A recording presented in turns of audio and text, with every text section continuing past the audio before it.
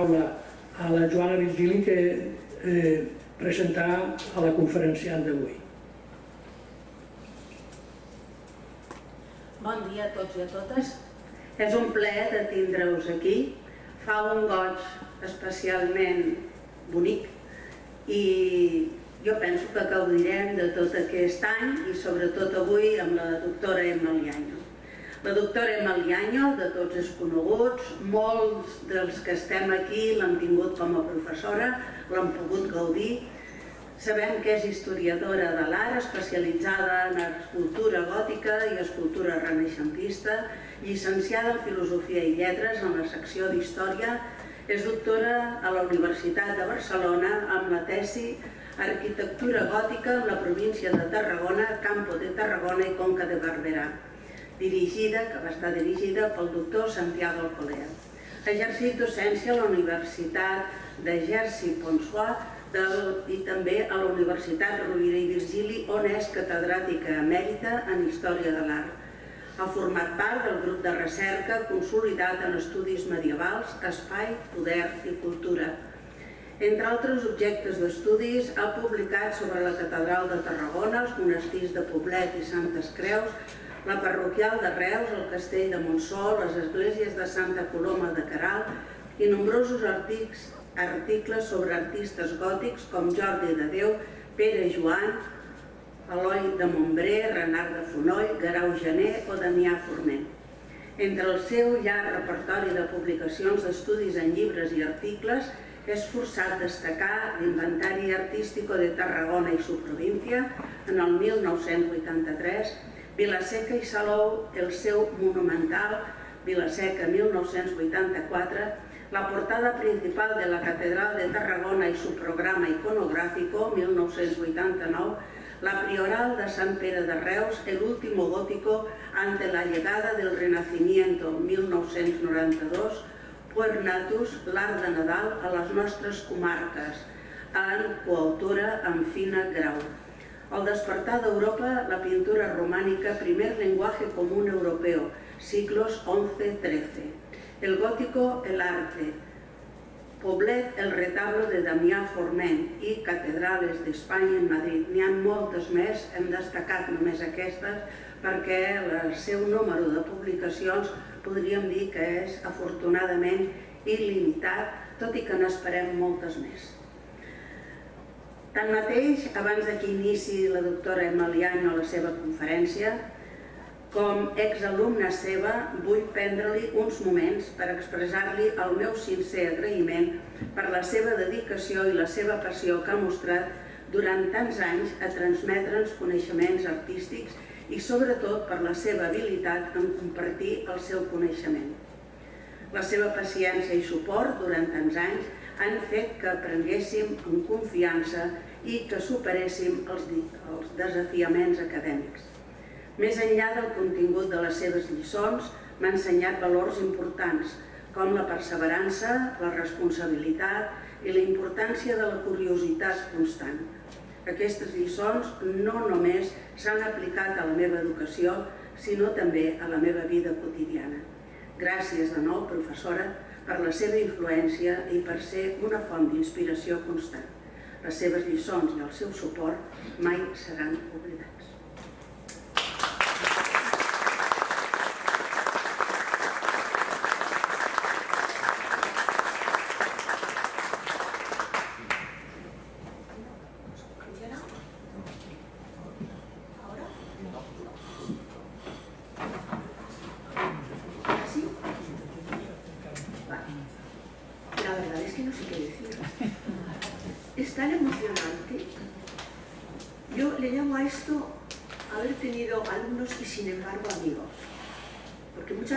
Piensas que algún estudiante que no, no sé, que has tenido algún problema con ellos, lo que fuera, y a mí no me ha ocurrido eso. Y afortunadamente tengo, bueno, exagerado, pero afortunadamente yo sigo teniendo muchos amigos que han sido alumnos míos. Eso es una satisfacción muy especial. Gracias. Y por todo también. que nos has dado. Bueno, eh, es un placer estar aquí, ya veis, o sea, no... no hay solución, es un placer. Eh, realmente mm, hace algún tiempo que no os veía a todos así, pero amigos de la catedral hay muchos, yo me cuento entre ellos y desde luego, insisto, me encanta poder venir y explicaros las cosas que yo he estado haciendo o que estoy haciendo todavía, que evidentemente sigo con mis publicaciones, aunque no traten exactamente todas la catedral. Vamos a centrarnos hoy en el tema que hemos venido a tratar, que es Calardiaca y sus pinturas góticas. Eh, Calardiaca es un edificio tan maltratado, es algo tan increíble que haya llegado a ese punto de degradación, porque realmente el edificio surgió sobre las ruinas romanas, en una parte del llano de la catedral, de la plaza de la catedral, en un entorno que parecía querer emular aquella antigüedad del área sacra romana, en el sentido de monumentalidad. La catedral, la Cala en la calle de las Cocas está el Palacio del Patriarca, donde vivía el arzobispo, Cabeza 6, es un entorno absolutamente monumental que, como digo, parece querer revivir la monumentalidad antigua. En concreto, el edificio del Cala que fue la residencia del arcediano mayor, está a escasos metros de la catedral levantado sobre ruinas romanas.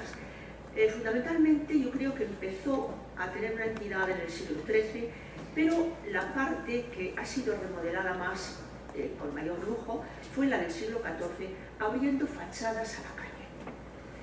Em, en ese punto, la plaza estaba en el sitio que llamaron el foro, que llaman el foro del Concilio Provincia Hispania Interioris, es decir, en un punto especial, como decía, de todo el conjunto del área sacra romana. Y se levantó ahí con una mm, eh, forma exactamente igual a la mayor parte de los palacios que surgían en los siglos XIII y XIV en todos los lugares del Estado. Esos mm, palacios, porque eran casas palaciales, tenían un patio central que hacía de aglutinante y también de distribuidor del resto de la casa. Un patio que normalmente tenía un pozo y aparte de esto, una serie de dependencias que también tiene y tuvo más aún Calardiaca, que en la planta baja servían para mm, experiencias secundarias, diríamos, para carruajes, para eh, bodegas, etc., pero que luego tenían en, el, propio patio una escalera con, colocada sobre rampas, en bóvedas rampantes, que accedía a una galería superior en el primer piso. Esa planta, el piso principal, la planta noble, era considerada la verdaderamente palatium, un palatium, un lugar eh, como palacial, llamaríamos de viene la palabra, pero que era la sala principal de toda la casa. Ahí se hacían las reuniones, se hacían eh, aspectos especiales de la vida diaria, pero sobre todo especiales, y em, además, además de tener esa función, eh, la planta principal, la planta noble, tenía también otras dependencias de la familia, pero que fueran las dependencias de los dueños de la casa. Encima de esto, la escalera era menos monumental y subía hacia guardillas y sitios más bien entregados para los, eh, criados y también para poner allí algún tipo de material, como podría ser el grano, así para que no pudiera tener tanta humedad en la planta baja. Todo eso era común en todos estos palacios y el Calardiaca eh, se compartimentó el espacio que iba entre el patio central y los muros perimetrales se compartimentó en espacios más o menos cuadrados, si no rectangulares, aproximadamente de unos 12 metros cuadrados cada uno, que estaban separados entre sí por una cuadrícula de arcos apuntados no muy altos. Encima, techumbres de madera y el piso noble en la parte alta, como decíamos. En uno de esos habitáculos de unos 12 metros cuadrados es donde hemos encontrado las pinturas de las que luego hablaré el edificio en sí ha sufrido una serie de transformaciones, como decía, las ventanas bíforas y tríforas, o sea, con dos o con tres vanos abiertas en la fachada principal, responderían fundamentalmente a una nueva propuesta de vida, diríamos, se produce con el gótico, sobre todo, en el siglo XIV. A partir de ahí, XIV, XV, etcétera, irán evolucionando. Porque las casas, de acuerdo con lo que habían sido antiguamente las casas romanas, las viviendas romanas, tenían como el patio como único, prácticamente como único espacio habitable y estaban aisladas de la calle. Se tenía que salir a la calle para poder gozar de ella, para poder desplazarse, pero no tenían aberturas normalmente hacia la calle. Sin embargo, en el siglo XIV se ponen ya de moda lo que diríamos el abrirse al exterior, abrirse a la calle, abrirse a los espectáculos. Y no me refiero solamente a espectáculos eh, transitorios, sino que estando como estaba en el llano de la catedral, en la plaza de la catedral, algunos de esos espectáculos eh, fueran fundamentalmente litúrgicos o no, eh, tenían un cariz especial. No obstante, yo creo que el espectáculo diario se tenía también simplemente por la visión de la portada de la catedral, con ese cortejo al lado del juicio final, ese cortejo de apóstoles y de profetas que constituyen un espectáculo diario. Es una cosa maravillosa y además de una comunicación gestual y sobre todo gráfica, que la gente no sabía leer en general, pero sabía recitar lo que alguien les decía, escrita en las filacterias y libros de estos apóstoles y de estos profetas. Eh, la casa mm, fue, como decimos, como sabemos, de la Ardiaca, la, vivienda de la Ardiaca Mayor, que era un cargo muy relevante en el cabildo de la Catedral de Tarragona, y después fue pasando hasta convertirse en una propiedad privada y tener con ella un proyecto de una instalación hotelera. De todo esto que ya sabemos todos, el conflicto y el problema que se generó con todo ello, produjo pues, un abandono mayor de la casa, pero también produjo, y eso hay que considerarlo como una cosa positiva, que se hicieran una serie de estudios con motivo del proyecto para esa remodelación y restauración, que se hicieran una serie de estudios que han quedado constatados por escrito y que recogían no solamente los datos históricos, sino todo aquello que con el paso del tiempo había quedado oculto, pero que luego se iba encontrando conforme se hacían las inspecciones. El proyecto mm, incluía, por supuesto, la restauración de las fachadas. Esta sería una de las ventanas tríforas y tal, y esta se ha perdido ya lo que tenía. La fachada degradadísima, y esto probablemente, porque esto es una, he tenido muchos problemas para encontrar fotos antiguas de este tipo, eh, un proyecto mm, que sería más o menos una desiderata de lo que se quería hacer con la casa. Eh, ese proyecto de rehabilitación trajo como consecuencia, como decía, no solamente el estudio, sino también la aparición de las pinturas. Aquí tenemos, hechas por el arquitecto que estaba a cargo de todo esto, que era Joan Albert Galén, el proyecto básico de rehabilitación con una serie de dibujos que son realmente exquisitos y que nos dan todos los detalles que ellos pudieron constatar, desde lo que era el general hasta las grietas que se encontraban en las paredes. La, pared, la, fachada lateral de la casa, en la que prácticamente no entramos ya, pero la fachada principal es magnífica. Yo he colocado de vez en cuando un recuerdo de que estamos con amigos de la catedral y que este es la, esta es la convocatoria que han hecho para esta conferencia, y sorpresas que se iban encontrando en el interior. Sorpresas que todavía no nos han llevado a lo mejor. Diríamos que, por ejemplo, apareció un artesonado de yesería siguiendo una tradición clásica romana, también tuvieron una gran afición por la yesería, eh, en una de las salas, vemos aquí el detalle, en toda esta parte, pero el envigado se ha conservado bastante bien y fue una de las cosas que propusimos estudiar mm, no está terminado el estudio, pero que parece ser renacentista del siglo XVI. Pinturas murales en algunas habitaciones de esa planta noble, del siglo XIX fundamentalmente, es decir, eh, lo que vamos a estudiar sobre todo son las pinturas góticas, pero hay algo más también. Y estas son pinturas del siglo XIX, bastante maltrechas, pero que bueno, han aparecido ahí. Arcos que luego eran constreñidos, rotos, eh, convertidos en una puerta pequeña, pero en los cuales se aprecian también restos de pintura de época medieval, que tuvieron, que ya no existen. Y luego en la planta baja, como decía, una sucesión de arcadas eh, frente a la fachada principal, pero prácticamente en todo el interior, arcadas de unos 12 metros cuadrados colocadas sistemáticamente para convertirlas en diferentes dependencias.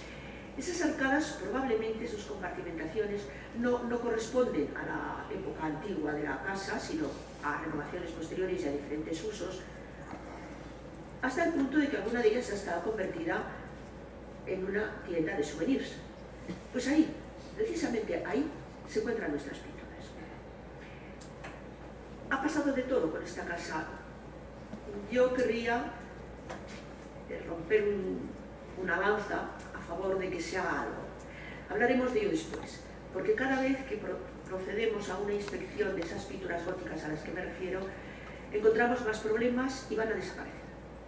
Y es algo verdaderamente importante. No hay en toda Cataluña, dicho por el profesor Juan Sureda, el mayor especialista que tenemos en pintura románica y gótica en toda Cataluña, no hay en toda Cataluña algo que él conozca que sea tan importante como esas pinturas. Volvemos al compartimento, al local de los souvenirs, y una vez quitado todo eso, se encuentran los restauradores con un cielo raso, pero colocado sobre unos listoncitos de madera que había que romper, que había que quitar porque aquello eh, no se podía rehabilitar, tenía que, que limpiarse. Y una vez roto y quitado eso, aparece, primero, lo más llamativo, un gran incendio.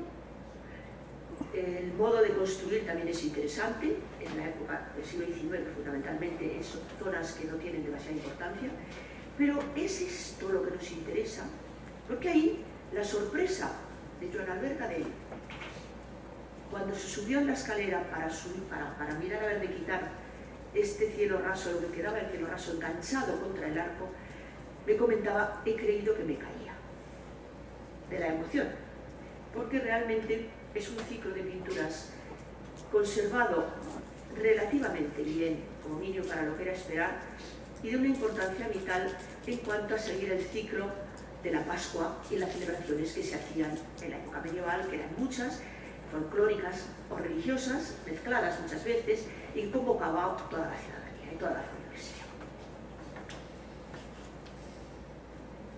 A ver, bueno, eh, he puesto aquí este, esta, esta fotografía porque representa lo que hay aquí y que apenas vemos y cómo los listones estaban clavados justo encima y rompían la pintura y la parte de, obra que estaba hecha. Realmente la pintura era buena, es buena. Eh, es la que, con la técnica del llamado mezzo fresco, que no es exactamente, por supuesto, el fresco italiano, pero que es una pintura muy consistente. Voy a explicarme. El fresco, tal como se hace con el fresco italiano, la técnica del fresco, requiere dos características fundamentales. Una, que la pared donde se coloque la pintura no esté fraguada del todo, no se haya terminado de secar. Porque la pintura va ponerse directamente allí y empapará la humedad, parte de la pintura, pudiendo encontrar muchas capas incluso, porque más adentro todavía llega. Eh, pero además de eso, el fresco italiano se solía hacer sobre muros con polvo de mármol, claro, el brillo que alcanzaba esa pintura era muy diferente de si estamos hablando de una caliza o una. Eh, no obstante, como digo, es una técnica del mezzo fresco.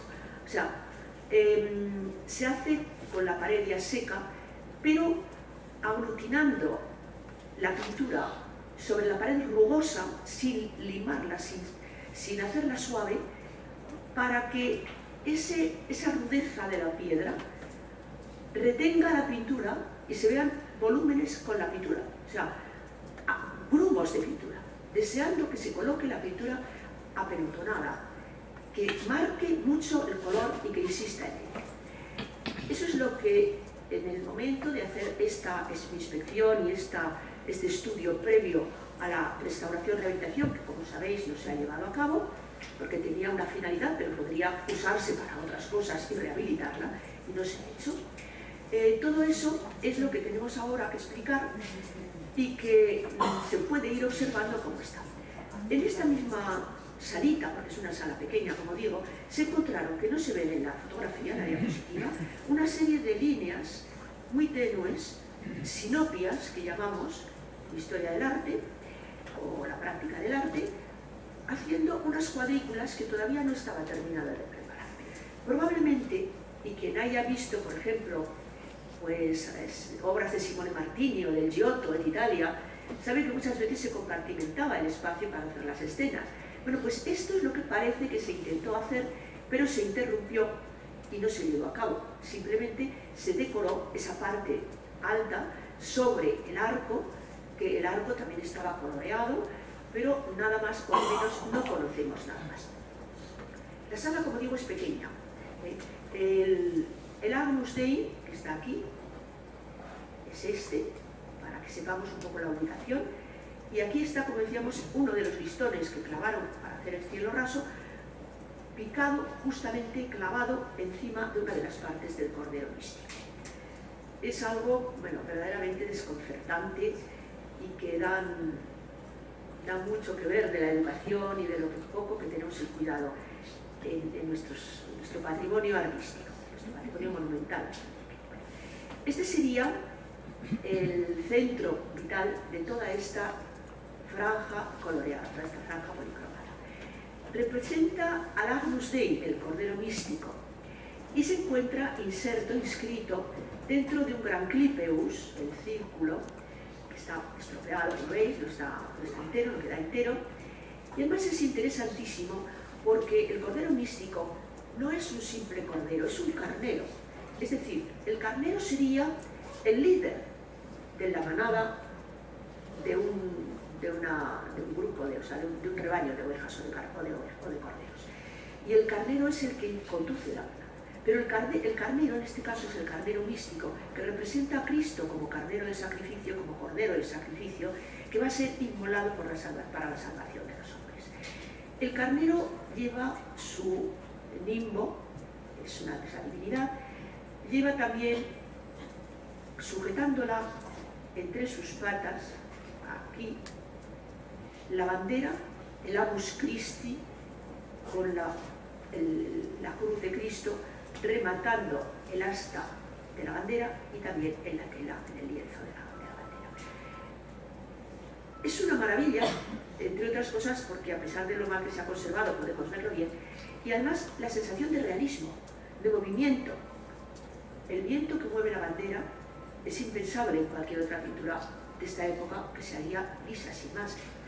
O ese gesto, el giro del carnero para mirar, para dedicarse a la propia cruz diciendo yo moriré en la cruz. Es decir, que hay una serie de mensajes que nos está enviando, pero que quedan completados por la inscripción escrita, no epigrafiada, sino escrita, que se ve en todo el círculo del Clípeus. Está también roto una parte, pero podemos saber por el texto a qué se refiere. Dice, en la parte superior, de encima de la, diapositiva, puse lo que está escrito y abajo hemos puesto, he puesto la transcripción que debería tener. Pone, eh, se ve XS, Domini Sit Semper Bobisc Annus annus, fijémonos en esta palabra, Dei Quitori. En realidad sería Pax Domini, la paz del Señor, sit semper, sea siempre, obiscum con vosotros. Agnus Dei, cui tolis, tú que quitas pecata mundi, los pecados del mundo, miserere nobis, ten misericordia de nosotros. Pero hay detalles interesantes, como por ejemplo, aquí no pone Agnus Dei, aquí pone Annus Dei. Annus es el año. ¿Qué ha pasado aquí? Pues ha pasado algo muy común, y es que el artista normalmente podía ser un gran artista, pero era iletrado, era analfabeto. Prácticamente solo algunos clérigos, que no todos, y algunas gente privilegiada de la sociedad, de la alta sociedad, tenían acceso a esa cultura y tenían acceso a la escritura de. Esto no. Y el artista podía ser muy buen artista, pero por lo general no sabía ni leer ni escribir, era iletrado. ¿Qué hacían pues para ello? Dibujaban. Alguien les hacía un texto escrito, alguien que sabía, les hacía un texto escrito y ellos lo dibujaban. ¿Quién hizo este texto? No lo sé, pero sí que puedo decir que este texto lo hizo alguien que se dedicaba también a dibujar lo que luego grababa, epigrafiaba sobre una lápida funeraria, por ejemplo, el picapedrero o el grabador, si era algo más serio. Porque hay una palabra donde tendría que poner agnus, cordero, pone annus. Es que la fórmula que se utilizaba en todas las inscripciones de las lápidas funerarias era annus domini, annus domini Ovid, fulanito de tal. En el año del Señor de tal tal fecha murió este. Annus, en el año. Es decir, que tomó el dibujante las palabras que él estaba acostumbrado, no le sonaba el agnus, le sonaba el annus, y puso annus por error. Es una cuestión interesantísima, por ejemplo, que nos sitúa en un círculo en el que unas personas son letradas, otras iletradas, unas se enteran, otras no se enteran, nadie casi sabe leer, pero todos participan de la festividad, porque la festividad tiene un carácter normalmente público, jocoso o no, pero tiene un carácter callejero, de la feligresía, del público en general, alentado siempre por los eclesiásticos que también participaban naturalmente en ella. Tenemos ejemplos maravillosos de actos litúrgicos que se celebraban en la catedral y fuera de la catedral, y que, por ejemplo, ha estudiado mucho parte de algunas personas que nos estamos dedicando también, incluso Marta Serrano también se dedica a la cuestión litúrgica, y que nos estamos dedicando pues, muchas veces a soslayar o a apreciar mejor la comparación de todas estas cosas, y eh, han sido, como digo, eh, estudiados los, los textos de las inscripciones. Yo tengo igual 300 o 300 y pico eh, inscripciones calcadas de diferentes lápidas funerarias de esta provincia de Tarragona, donde yo hice, como ha dicho Juana, el inventario artístico que me dio opciones para todo. ¿Cuánto aprendí haciendo el inventario artístico?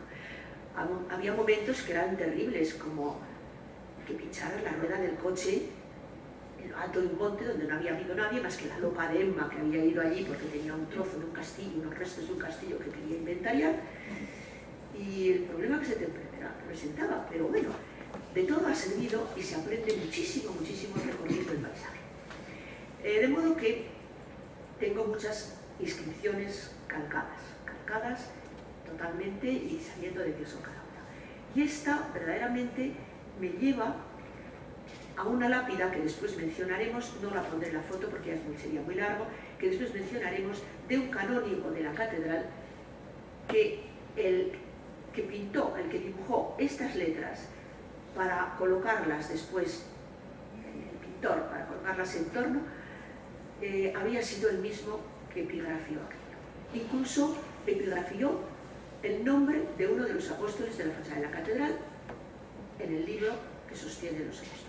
Es decir, que se puede comparar por la forma de escribir, por el grafismo, se puede comparar unos artistas con unos escribanos, con unos eh, grabadores y, con, y saber además cuándo se puede considerar cronológicamente que se hace, porque la letra, como pasa ahora, va variando.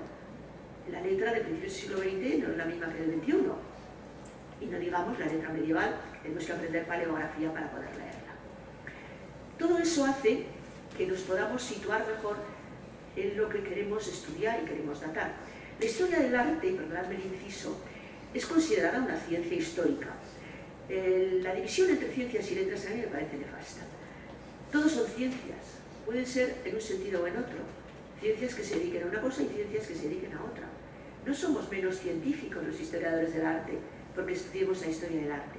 Tenemos métodos de trabajo, que es la definición que hace falta para poder considerar que trabajas en una ciencia. Tenemos metodología de trabajo propia y podemos ir con ello. Pero esa metodología, a mí me gusta eh, no centrarme solamente en una de ellas, porque hay diferentes métodos a seguir. Todo lo que me puede proporcionar una información que me ayude a interpretar, a conocer mejor y a poder investigar sobre un tema, yo lo acepto. Incluso la epigrafía, que parece que tiene que dedicarse para otra cosa. No, me sirve todo, porque todo ello incluye no solamente poder situarlo en una época porque ha cambiado más o menos la letra, sino también porque esa letra, si es la misma que la de una lápida funeraria. La lápida funeraria dirá cuándo murió esa persona. Luego hablaremos de ello con un ejemplo concreto. Es decir, que el, el Clipeus, donde se enmarca, donde se inscribe este Agnus Dei maravilloso, tiene también muchas otras cosas de que informarnos. Esto es una anécdota eh, que yo diría que fue una gran sorpresa para mí y fue una invitación gustosamente aceptada. Venía del Ayuntamiento de Tarragona a mi casa por correo diciendo que la mandaban de territorio, disciplina urbanística y sanciones.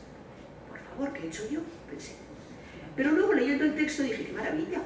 Dada la gran importancia de las pinturas góticas de la planta baja y yesos renacentistas, se considera conveniente que además de los servicios técnicos municipales, de los técnicos del Departamento de Cultura de la Generalitat y de los técnicos del Centro de Restauración, comparezca el próximo miércoles día 15 de julio de 2015 a las 11 horas, día fijado para llevar a cabo la inspección en el edificio de Calardiaca, la señora Edna María del Pilar Leaño Martín, digamos yo, catedrática de Historia del Arte de la Universidad de Virginia, experta reconocida en arte gótico, dado su conocimiento sobre la materia. Y por tanto, procede citar a la señora Emma María del Pilar Leaño Martínez el día y hora indicados.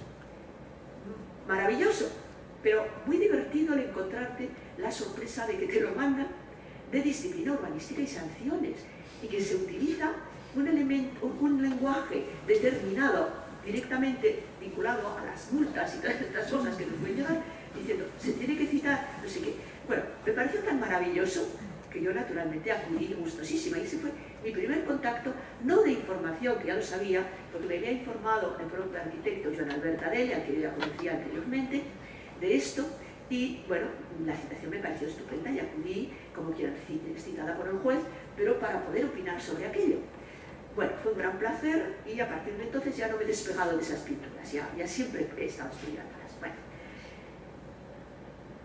vamos a las pinturas ahora. Eh, ese fondo del que vemos está muy estropeado, de verdad, pero vemos que el fondo era todo un fondo de estrellas. Vaya. No se trata de que sean estrellas de adorno, se trata de unas estrellas que están delimitando un espacio dedicado al culto eucarístico. La estrella que es, que las estrellas que aparecen ahí son lo que se llaman margaritum, que eran una especie de cápsulas para la forma consagrada. Con lo cual no son una alusión al paisaje, sino que son una alusión al concepto, a la iconografía en general que se está tratando aquí, dedicada fundamentalmente a la Pascua y a la Pascua de la Resurrección, claro está. Bueno, eh, allí se desarrollan tres episodios fundamentales de la redención. Un primer acto, que está aquí, o sea, tenemos que contar de derecha a izquierda en este caso, en que aparece la anunciación. La anunciación que equivale, según la Iglesia, a la encarnación de Jesús, o sea, es el comienzo de la vida de Jesús.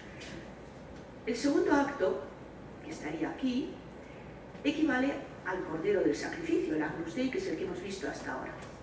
Y finalmente, el punto peor conservado y muy húmedo y con muchos problemas es el que se dedica a la resurrección. Esto que no vemos aquí, que lo estoy señalando yo, es realmente la cara, que luego veremos en detalle, muy estropeado todo, de Cristo resucitado, cuando ha salido, acaba de salir del sepulcro, que es un auténtico muerto andante. Un personaje esquelético, con el rictus de la muerte todavía, que acaba de resucitar. Bueno, y en el centro estaría la Pascua, con calle ya de, la Pascua de, celebración, con el Cordero de Dios inmolado que supone la muerte y resurrección de Cristo. La liturgia pascual se incorporó, como hemos dicho, en la Edad Media a numerosas escenificaciones. Participaba el clero, la feligresía, gente que iba de fuera, y era una espectacular muestra de devoción cristiana y popular fundamentalmente, que a la vez incluía un porcentaje importantísimo de docencia porque el pueblo era iletrado. Si los eh, artistas no sabían escribir, el pueblo menos todavía. Y entonces era una especie, bueno, no una especie, una suerte de docencia y de entretenimiento asociado todo ello a la liturgia y al teatro religioso medieval.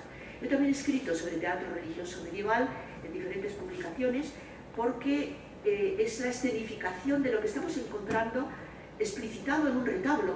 Ejemplo, luego pondremos la, la representación de las Marías, la, llegada de las Marías a al sepulcro de Cristo que lo encuentran vacío. Y todo esto era motivo de escenificación y formó parte del teatro religioso medieval, lo mismo que el canto de la Sibila y todas estas otras cosas que se están sacando últimamente como rescate de cosas interesantes del pasado, vale la pena, insisto, que se sigan apreciando. Em, la primera intervención fue una intervención, bueno, primero el susto, la sorpresa ¿no? que aparece aquí, y luego la primera intervención consistió fundamentalmente en quitar el cielo raso y los listones, insisto, en que había un listón clavado, destrozando esto aquí, fue eh, sacar astillas para que no se rompiera nada más, y luego intentar que esa pintura, que ha quedado casi casi como trocitos de papel que se levantan con la uña, que es que saltan, eh, que quedara fijada. Y se puso aquí toda una capa de yeso con la intención de que no saltara más la, pintura y que se pudiese quitar fácilmente en el momento de la restauración. Cosa que, insisto, y voy a dedicar a insistir, no se ha producido todavía. Eh, es, como decíamos, el Agnus Dei que acaba de salir. El detalle de Cristo como Cordero, como Carnero Sagrado, el Cordero de Dios, que representa la divinidad. Eh, es un, carnero precioso, con un realismo sorprendente en la época, eh, da la sensación de cuando el carnicero tiene sobre el mostrador la cabeza del, cordero, que sea exactamente así. Y además eh, lleva bueno, todo el pelaje, toda la lana, con unos mechones, con unos vellones cuidadosísimos, muy rizados, muy bien hechos, muy simétricos, con un cuidado exquisito que recuerda, al menos a mí me lo recuerda extremadamente, algunas eh, obras romanas.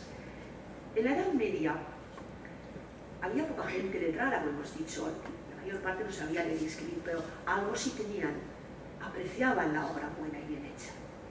Y fueron admiradores totales de los restos romanos de Tarragona.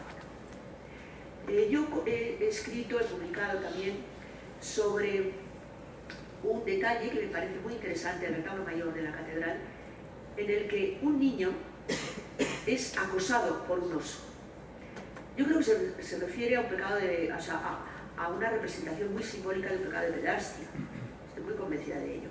Está persiguiendo a un niño, un oso está persiguiendo a un niño. Pero, aparte de eso, es que el niño en cuestión está apoyado en sus dos piernas y para defenderse del oso lleva un basto, un basto de los de la, la un basto, bueno, como, como herramienta de defensa, como arma de defensa. Yo recuerdo, extraordinariamente próximo a la idea esta, el Hércules niño, que se conserva, una estatua magnífica, prácticamente el mismo tamaño que la que vemos en, en, el retablo, el Hércules niño del Museo de aquí de Tarragona, el arqueológico, que lleva el basto, no se defiende con él, sino que lo lleva apoyado en el suelo. Es Hércules que se distinguió por su eh, capacidad de defenderse contra el problema, contra el pecado, contra lo que le iba mal. Eh, es un héroe de la antigüedad griega por esas características y lo escoge un poco como héroe también para cambiándole la posición de la, del, arma que llevaba, que era el basto, y defenderse del, oso para colocarlo como una respuesta inspirada en la antigüedad clásica en, un héroe clásico, en un héroe clásico. A mí me parece eso muy lógico, puesto que esa estatua, del Hércules niño, se encontró en una época relativamente reciente, no recuerdo ahora, pero como en 1920 o algo así, entre los restos de lo que había sido el gran taller de los eh, albañiles, digamos, de los constructores de época romana en Tarragona, el Colegio Fabri. Entonces, bueno, el, el hecho de que existan relaciones de este tipo con un artista del Renacimiento casi del Renacimiento, que es Pere Joan, en el siglo XV ya, eh, indica que la obra estaba muy relacionada con el mundo romano.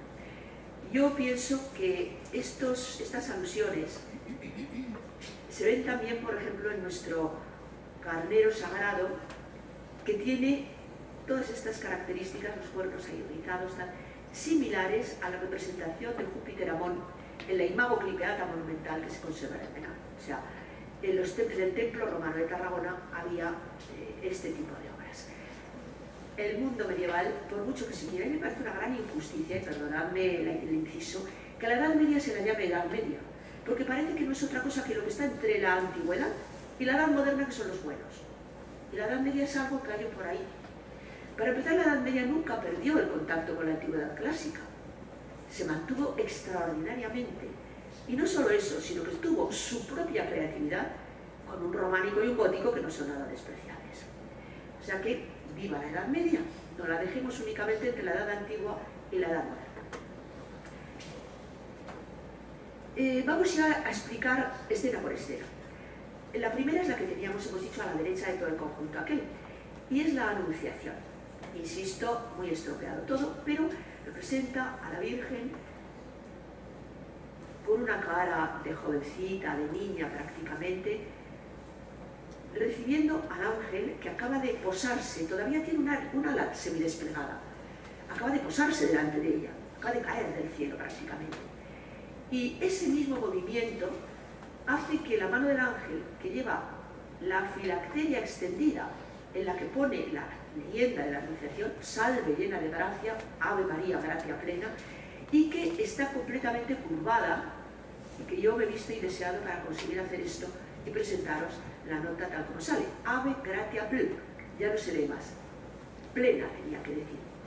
Bueno, el rostro del ángel es encantador, es un ángel joven, también lo llamamos un ángel mancebo, y la Virgen está situada en un escaño, lleva en la mano, luego lo veremos con detalle, un libro cerrado en este caso. Es un libro perfectamente enguadanado, y es el libro de las escrituras, porque no podemos olvidar que la anunciación estaba prevista en la profecía de Isaías. Ecce virgo concipiet et pariet filium et vocabitur nomeneius en Manuel. He aquí que una virgen concebirá y alumbrará un hijo y se le pondrá por nombre Manuel, que quiere decir Dios está con nosotros. Eh, el libro pues de las escrituras es un elemento fundamental porque está comprobándose que se produce la realidad, la realización del texto de la escritura en ese momento en la persona de María. Además de eso, aparece, como no, el jarrón. El jarrón es, aparece en todas las escenas de la Anunciación. Y es un jarrón que suele ser transparente, el jarrón de los lirios, porque, como veremos luego también en otro momento, diremos, eh, significa la pureza de la Virgen. Son los lirios. La Virgen dice los santos místicos, que era virgen tres veces, ante partum, in parto et post parto, ante, durante y después del parto. Entonces eso lo recalcan mucho porque si no, no tendría sentido naturalmente toda la escenificación y toda la teoría cristiana. He separado unas cosas de otras para que la podamos ver mejor. La figura de la Virgen. Es una Virgen, bueno, era un dibujante excelente y un pintor excelente. Los ojos, los labios, la nariz. Es difícil, un medio escorzo, ¿no? La mano, con esos dedos largos, detalladas las uñas, dedos largos que los místicos dicen que tenía la Virgen, los dedos muy largos, y la corona. Pero es muy curioso porque la Virgen, un personaje divino, lleva el limbo, limbo, la aureola, que indica que personaje vinculado con la divinidad, los santos, etc. Pero lleva también la corona. Y la corona, en teoría, no la lleva la Virgen hasta su coronación, es decir, hasta después de su muerte y asunción al cielo. Estoy hablando de, lo que dice la Biblia, de lo que dicen los evangelios y de lo que dice la Biblia en general. Y sin embargo aquí aparece la Virgen doblemente coronada, con el nimbo y con la corona que no le corresponde todavía. Es posible creo yo, que el artista, eh, puesto que no entraba en todo el, repertorio de imágenes que iba a poner el episodio de la coronación de la Virgen, incluyera las dos a la vez y puso el nimbo como signo de santidad y la corona como signo de futura coronación por parte de su hijo cuando ya ha muerto la Virgen también, ha subido al cielo en la Asunción y se produce la coronación de la. Es una interpretación mía que creo que es bastante lógica. es interesante también ver cómo, aparte de ese realismo, los ojos claros, el pelo rubio, la melena rizada, larga, eh, y bueno, todos los detalles que se tratan, el libro está en la mano de la Virgen, aquí estoy, es un libro muy grueso, el libro de las profecías, tiene mucho que leer, pero está dibujado, pintado en perfecta eh, perspectiva, en perfecta perspectiva. Eso en el siglo XIV es normal. Yo diría que no. Ya veremos luego por qué creo que se puede justificar.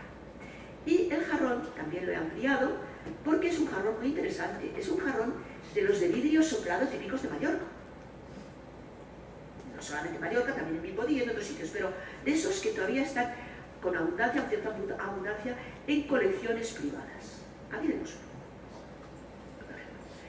En este caso es verde, pero el de la Virgen es simplemente transparente. Se vislumbran incluso los lirios así así subiendo, como zigzagueando por aquí, que son los lirios de la pureza, como hemos dicho. Y es un elemento indudable que no puede faltar en las escenas de la anunciación a la Virgen, porque no tendría sentido si no fuese que existe esa pureza, esa virginidad. Eh, pasamos, damos la vuelta por encima del Agnus Dei central, la imago clipeata, y nos vamos al otro extremo, donde vemos, si es que se puede decir vemos porque está muy a Cristo resucitado. Aunque se ve poco, es la imagen de un auténtico mortandate. Delgado, bueno, prácticamente esquelético, el pelo suelto y, caído, eh, los ojos como acostumbrándose de nuevo a la luz, los ojos muy saltones, acostumbrando de nuevo a la luz porque acaba de salir del sepulcro. Y lleva, no obstante, el amus crucis, la cruz, la cruz con la que ha sido, en la que ha sido crucificado, con la que se presenta el Cordero Sagrado, pero que él la lleva ahora como signo de victoria. Es decir, todo el repertorio se centra en la anunciación que sería el comienzo de la vida de Cristo, el sacrificio que sería el Agnus Dei del círculo central y la resurrección que significa su gloria, porque ha vencido a la muerte y al pecado, que es culpa de que se produzca la muerte, es toda la teoría cristiana, y ha resucitado, ha podido resucitar. Además, em, lleva la mano hacia, con la mano, una mano al Amus Cruci, el Amus Cruci con la otra parece que se separa. Es el noni me tangere, que nadie me toque, porque todavía no he subido al Padre. La Biblia, Juan en concreto y otros eh, evangelistas también, relatan todo este detalle. Pero eh, está en una zona eh, con árboles, etcétera, etcétera, que puede explicarnos mejor eh, la presencia de María Magdalena. María Magdalena, ya se dice está llorando con una Magdalena, es que siempre estaba llorando la pobre, porque resulta que se queda cuando Cristo es enterrado, se queda fuera, pero se queda junto al monumento, es decir, el sepulcro de Cristo queda cerrado y ella se queda junto al monumento, se queda llorando y dice que vio, dice la, Biblia, que vio a dos ángeles vestidos de blanco, que le preguntan, mujer, ¿por qué lloras?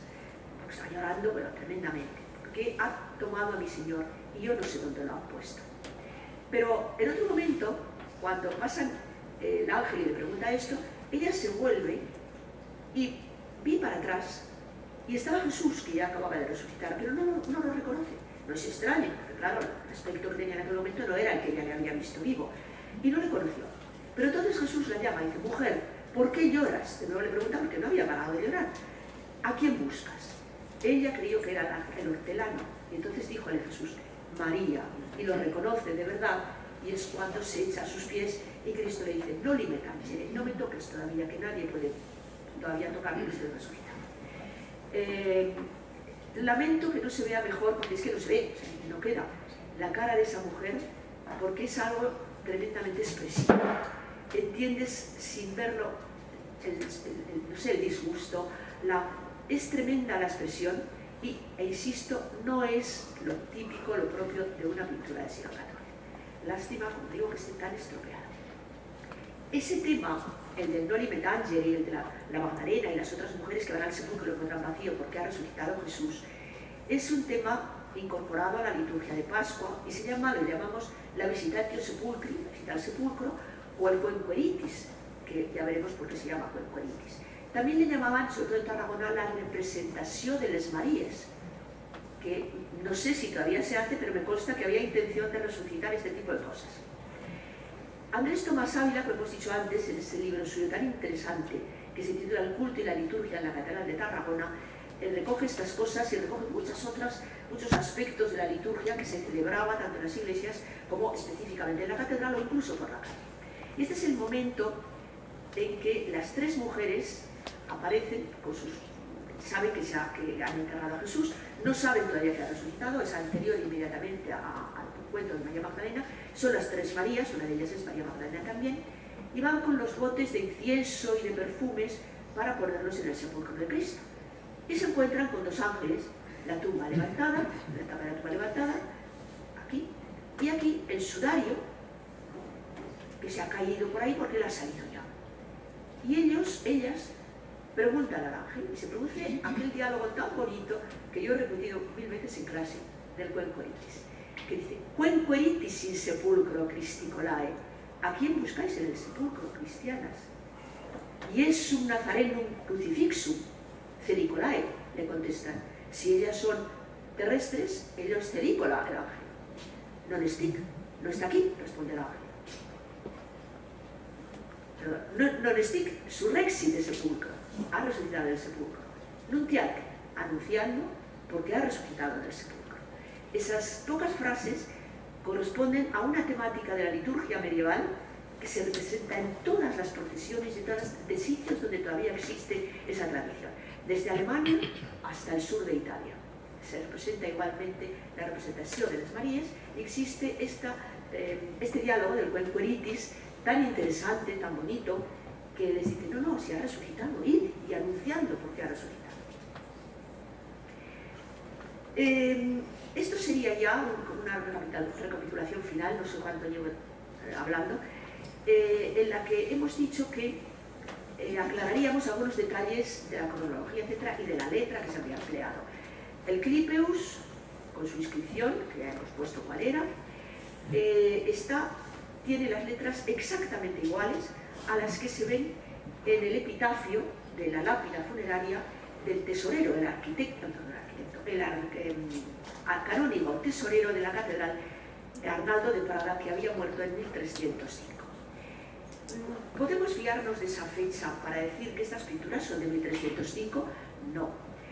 No, pero sí aproximarnos. Es decir, eh, cuando moría un canónigo, en este caso, una persona importante, eh, se dejaban sus restos mortales en una, caja de piedra, normalmente, una urna, para que eh, se descarnaran. Y una vez pasados 5, 6, 8 años o más, que se supone que se había producido ya esa, descarnación, eh, se sacaban los restos, que eran ya los huesos, y se llevaban al sepulcro definitivo. Y es en ese momento cuando se colocaba la lápida funeraria de verdad. O sea que nos sirve como orientación, pero no sirve como fecha exacta. Igual, hablando de siglos atrás, tampoco es poca cosa. ¿eh? podemos decir que tenemos una orientación bastante interesante. No es de 1305 pintura, pero yo creo que es un poco, unos, unos años posterior, quizás en torno a, o inmediatamente antes, la mitad del siglo XIV, que es el mismo siglo de la lápida funeraria esta. Esto, esta, imagen última es una hipótesis sobre la dedicación de la sala a que se estaba dedicada, el autor y la época. Hemos dicho que el, la, Cala Riaca, el edificio en sí, el palacio entero, era la residencia del arcediano mayor, una persona con una dignidad entre los canónigos muy relevante, por tanto tenía muchas posibilidades económicas, etc. Eh, pero la, la sala en concreto, ese habitáculo que hemos dicho que es relativamente pequeño, no podía ser otra cosa que la capilla privada de este arcediano. Estaba en la planta baja, se accedía desde la plaza de la catedral, tenía muy cerquita pasarse de un lado a otro y en su residencia particular tenía su propia capilla independientemente de todos los actos religiosos a los que acudiera naturalmente como su condición de canónigo eh, a la catedral. Eh, incluso el hecho de que por la pared haya algunos restos mínimos de sinopias en cuadrícula, quiere decir que se pretendía hacer una decoración mayor, que no se llegó a hacer por razón que fuera, económica o que fuese, y que eh, probablemente estaban imitando pintura italiana, como digo, de Giotto, de Simone Martini o alguno de estos, con esta cuadrícula que se ha tenemos pues una hipótesis sobre la dedicación de la sala que creo que es bastante segura. Eh, ¿Quién la mandó a hacer esta sala? O las pinturas, mejor dicho, porque la sala probablemente ya estaba hecha. Pues un canónigo arcediano, pero tiene que ser alguna persona que tenga una proyección hacia la cuestión artística o una proyección a tener contactos con artistas. Eh, Cronológicamente decimos que por letra podría ser de mediados del siglo XIV, quizá un pelín antes de lo que es exactamente la mitad. Y coincidiría con el cargo de canónigo eh, arcediano a Guillem de Anglesola o a Guillem de Sescomes.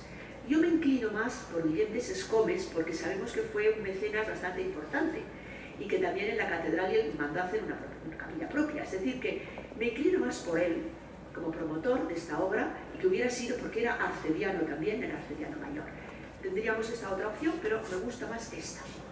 Em, después, eh, ¿cómo podemos decir, cómo podemos explicar que alguien en el siglo XIV, en Tarragona, sabe hacer esta cara, que es una cara prácticamente igual que la haría un pintor del Renacimiento? Yo no veo que sea mejor el Renacimiento que la Edad Media, he insistido antes que todo tiene su valor pero esta diferenciación hay que, hay que, decirla. Eh, es un medio escorzo. Eh, los ojos se ven, la pupila azul, eh, la boca, la nariz perfecta, el cabello, las orejas, en su sitio exactamente, no donde a veces salen. Y bueno, esta es la imagen de uno de los dos ángeles tenentes, es decir, que sostienen el clipeus, la pintura, que lo tenemos aquí, una parte de ello, más hacia, nuestro, hacia mi derecha estaría el Agnus Dei con el Carnero Sagrado, y que son ángeles tenentes, o sea, están porteando, llevando un clipeus, que sería el, la imago clipeata de los romanos en realidad.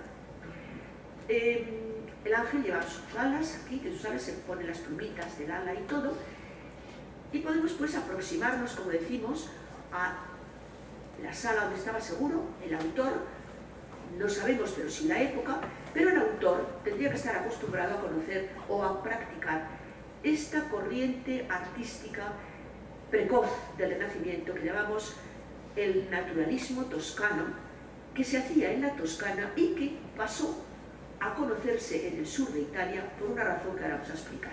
Era la época del cisma de Occidente, la época en que había dos papas, incluso en un momento hubo tres, pero bueno, en este momento había dos. Uno era Urbano V, que estaba en Aviñón, el otro era el Papa de Roma. Vamos a centrarnos en Aviñón, que lo tenemos más cerca. Y Urbano V tuvo un encuentro muy, interesante con el arzobispo de Tarragona, que era Sancho López de Ayerbe. Sancho López de Ayerbe, de Ayerbe, de los aragoneses de Ayerbe, los aragoneses somos un poco así. Y, este señor era hijo ilegítimo del rey Alfonso Benigno era el padre de Pedro Ceremonioso, era el que heredó, puesto que era el hijo, eh, que no era el legítimo, era el hijo legítimo, el heredero. Y eh, Sancho López de Ayerbe, a pesar de ser hijo ilegítimo, no dejaba de ser hijo del rey. Eso lo tenían muy claro. Con lo cual, si no accedía al trono porque no le tocaba, accedía a un alto cargo eclesiástico que era lo habitual. Eclesiástico, de eclesiástico muchas veces tenía un poco, muchas veces eran guerreros. Hemos encontrado documentos que te dicen que, bueno, que, que, que parten a la conquista de Valencia con el arzobispo, Pedro de Almarate, que lleva eh, una, una, tropa que paga él mismo de su propio bolsillo, 60 hombres, y va a ayudar a Jaime I Conquistador a la conquista de Valencia. O sea, eran guerreros también. Pero Sancho López de Ayerbe, en concreto, era eh, un hombre acostumbrado a la diplomacia, diplomático, y eh, tuvo un litigio, un problema, con el, eh, perdón, el canónigo camarero, el cambré. Cuando se dice camarero uno piensa que sirve las copas, no, no. El cambré era el que se encargaba de la camarería, es decir, del ropaje, etcétera, sobre todo el ropaje litúrgico. Eh, bueno, tenían antes ayudas de cámara, la palabra es esa, no es el camarero, es la cámara. Bueno, y, y el, el, camarero era, como digo, el que se llevaba esto, pues era el señor de Reus o sea, el señor eclesiástico de Reus. Eh, tuvo un altercado, el arzobispo, con los habitantes de Reus, porque pretendió hacer algo que en principio era su cometido, una visita religiosa, una visita pastoral que se llamaba a Reus, y la gente de Reus, bueno, las intrigas y las disputas entre ciudades le dijeron que no entraba, que ellos ya tenían un señor eclesiástico que era el cambré, el camarero, y que allí el arzobispo no tenía nada que hacer. No sé si es que tenían ya suficientemente hartos los impuestos que les cobraba el camarero, o, es que sencillamente se llevaban muy bien con el cambré y que no querían que entrase nadie más, ni siquiera el arzobispo, porque el arzobispo tenía derecho. Entonces empezó un rifirrafe que eh, llevaba las armas, empezaron a disparar flechas los unos contra los otros, creo que también hubo muertos, y de hecho es un pasaje muy cortito que describe el canónigo Blanc, Josep Blanc, en su libro El archiepiscopologio, que todos hemos consultado, todos que dedicamos a, algo de Tarragona, historia del arte y de historia, hemos consultado un montón de veces, y eh, él dice que, eh, bueno, pues pasó esto, este episodio. No dice más de momento, pero luego continúa en que el, el Papa le manda un correo, no un correo de los nuestros, una persona que le hace de correo, eh, para avisar al arzobispo que tiene una cita, en este caso una cita, con el Papa, el Papa Urbano V, eh, el arzobispo pregunta que por qué, dice que bueno, que tiene que ver con, con este, este, asunto con Reus, y el arzobispo, como digo, era muy diplomático, se presentó ante el Papa. Claro, los de Reus tenían como defensa propia en este sentido el Cambré, es que el era, no me acuerdo de Belfort, pero sí, Pérez de Belfort, era, eh, el, el Cambré era sobrino del Papa Urbano, y además cardenal en la corte de Aviñón. Entonces llega el arzobispo, Sancho López de Ayerbe, yo me lo imagino, es fácil, el papa, el, el sobrino cardenal sentado a su lado, y el arzobispo llegando con su parsimonia diplomática, muy educadamente, diciéndole, ¿qué quieres, santidad? ¿Por qué me llamas? Bueno, y entonces le explica el por qué, supongo. Y como me imagino que el por qué era ese, que lo denuncian, naturalmente, pues el, arzobispo, insisto, con toda su diplomacia, tuvo que decirle sin duda ninguna al Papa, bueno, y si yo le digo todo esto, que me vas a hacer una amonestación o lo que sea, a mi sobrino, que además, como el, rey Pedro el Ceremonioso había crecido con, entre criados y demás, porque realmente su madre murió cuando era prácticamente al nacer, y, y él eh, le crió, él ayudó muchísimo a Sancho López de Ayerbe, lo tuvo en el convento de los franciscanos de Zaragoza, viviendo junto a él y viviendo junto también a su hermano más joven, el segundo en la línea de sucesión al trono, Jaime, el conde de Urgel, porque el padre de,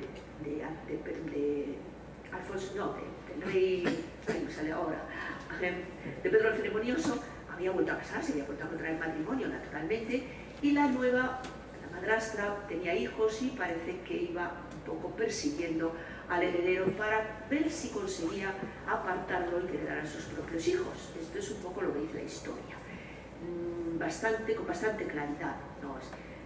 Y el arzobispo quería a todo creer a su sobrino el rey y el rey a su tío.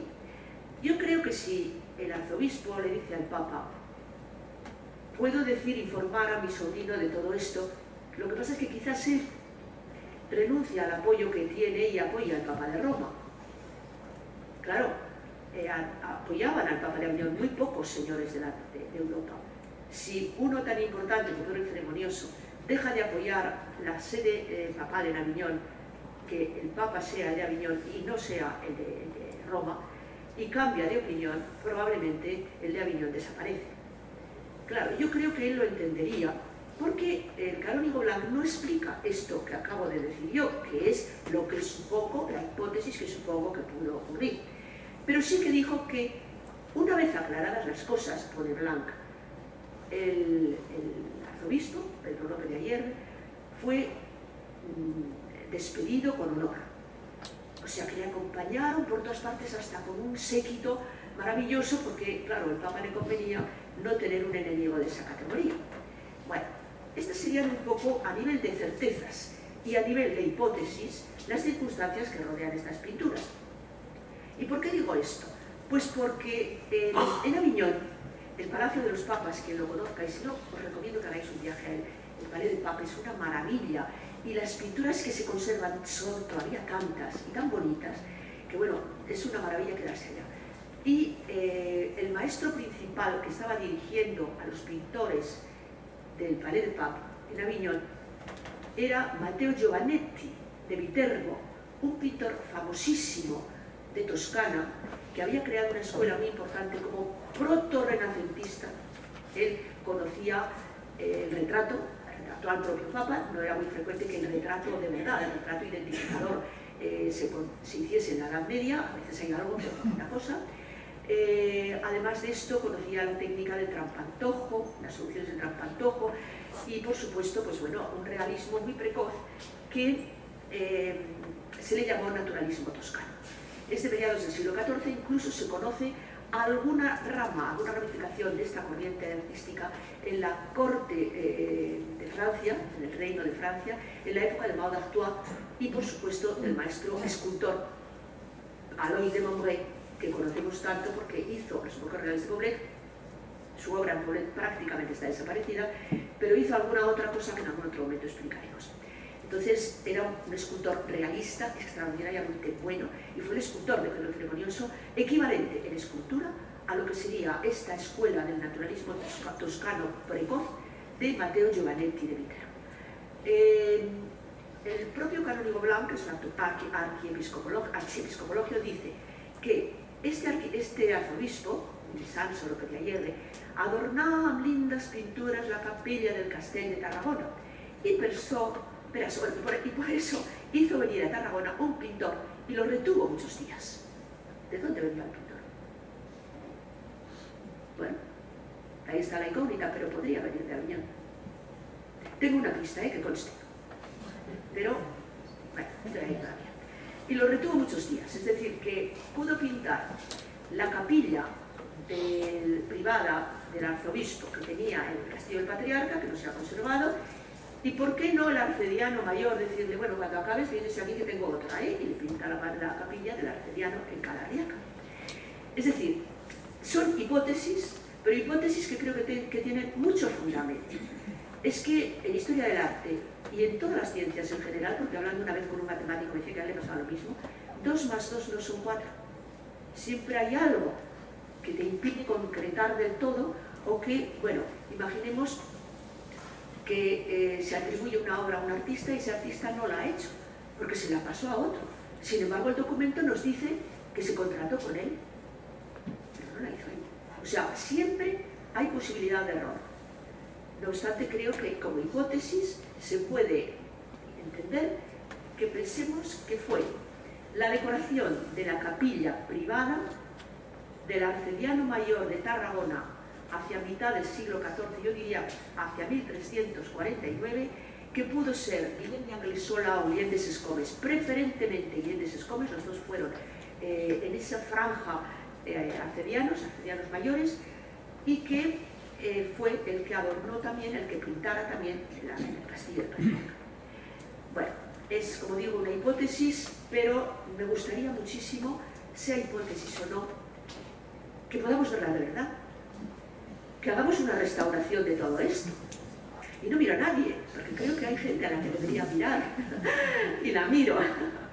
Bueno, eh, sí que sé que son cosas de prioridades y cuestiones económicas también, hay que designar partidas. Yo no puedo decir qué se haría con eso. Lo ideal sería, si es una propiedad particular, expropiarla y, y restaurarla. ¿Y dedicarla a qué? Porque si no se dedica a algo, se volverá a estropear, no tanto, claro, se volverá a estropear, pero para eso hay técnicos que lo intentan. Es decir, que creo que eh, estamos todos esperando que, no sé si de aquí, me gustaría, pero de un día muy próximo veamos la noticia de que de verdad se va a intervenir en eso y se va a conseguir que esa maravilla de pinturas, que ahora cada vez que vamos a una inspección, porque solemos hacer una inspección anual, ves que falta algo, que ha caído un trocito, porque salta la pintura y hay humedad y hay de todo, que todo eso se está arreglando. Y se está arreglando, además, supongo, la casa, porque si no se arregla la casa, no se arreglarán las pinturas, pero ya fundamentalmente las pinturas. Porque si no se pueden arreglar, habría que arrancarlas y llevarlas a museos. Algo hay que hacer. Algo hay que hacer, no se pueden perder. ¿Verdad que no se pueden perder? No. Claro. Bueno. Bueno, pues nada, por mi parte, muchas gracias por escucharme. Sé que me extiendo más de lo que debería, pero ha sido un placer encontrarme aquí, ver tantas caras amigas, las caras de los amigos de la catedral, que son mis amigos, y de otras personas que han sido alumnos y sin embargo amigos también, y a quien no conozco. Muchas gracias.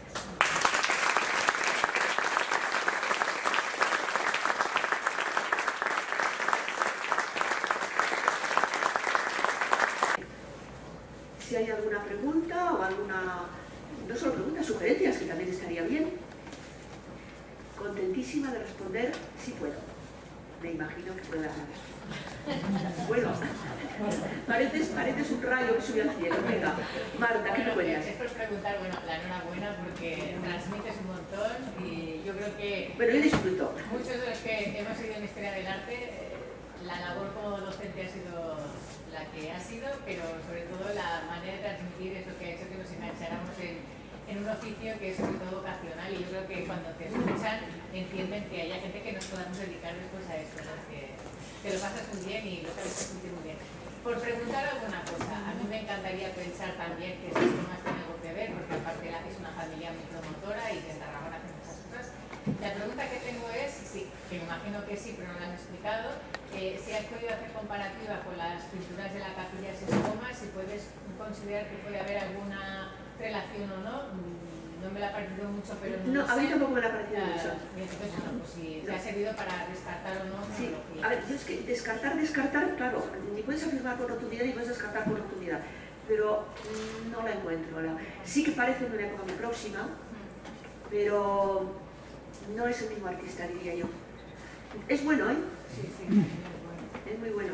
Pero pudo ser, bueno, pudo ser él, eh, adaptándose a los gustos del, del, cano, del, sí, bueno, del canónigo, eh, pudo ser algún compañero que viniera también, pero de hecho son muy buenas también las pinturas que mencionamos.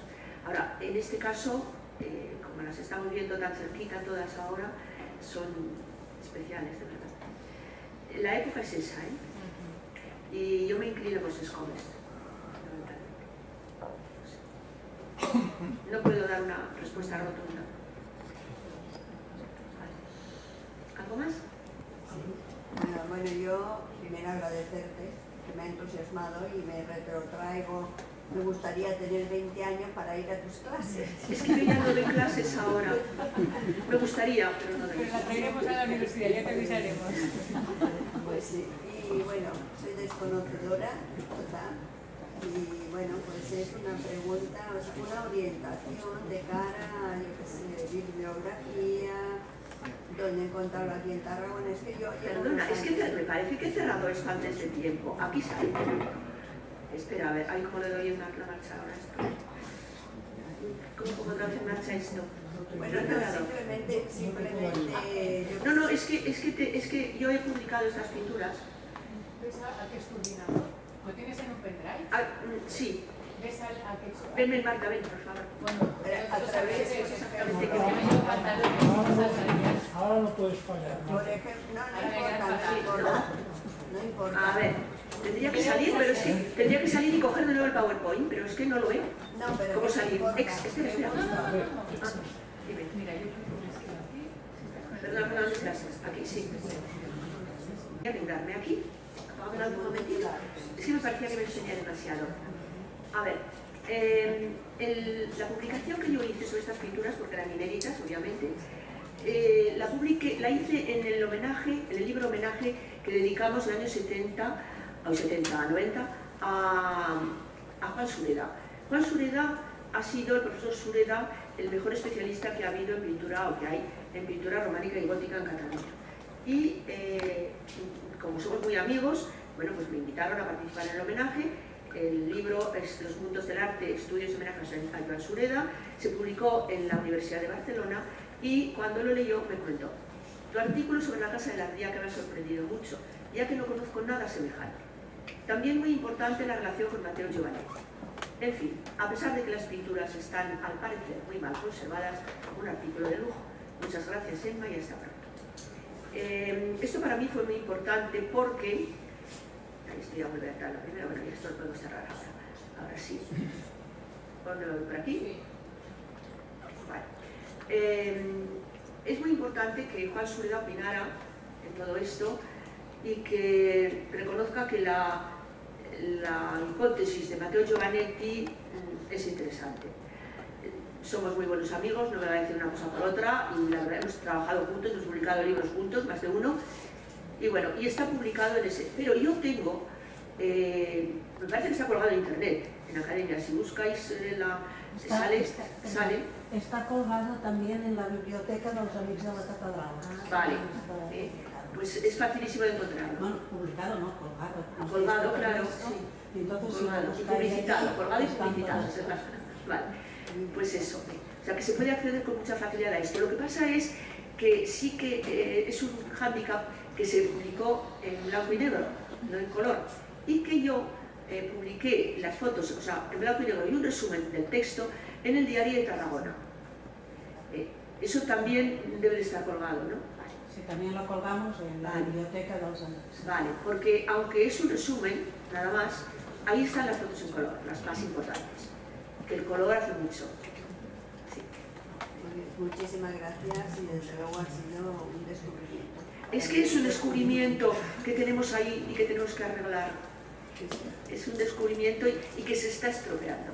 Estamos eh, haciendo inspecciones anuales, pero cada vez es más deprimente hacer la, ins- la- la inspección porque faltan cosas, ya faltan trozos. Bueno, hay que hacer algo. sí. Creo que tenemos que presionar y que, que, bueno, hay que sensibilizaros, los que podéis sensibilizaros para todo esto. Para acceder a la biblioteca de los Amigos de la Catedral hay que entrar en la página de Amigos de la Catedral, inicio, porque se abre por otra parte, pero entonces hay que clicar inicio y en la izquierda ya veréis biblioteca online. No solamente eh, está este artículo tuyo, sino muchos tuyos Ah, que. Gustosamente... pues muchas gracias. No, de nada, al contrario, No, no, es que, por... es que yo he disfrutado mucho, tanto dando clases como investigando, porque la ventaja que tenemos es que la investigación la aplicamos a la clase. Muchas veces estás hablando, sobre todo he tenido esa suerte casi siempre, de lo mismo que investigas. Claro, eso llega mucho mejor al alumno. Es apasionante ver, exponer aquello que te entusiasma a ti. No sé, ya era- a ver transmitir más minutos. Bueno. Muchas gracias.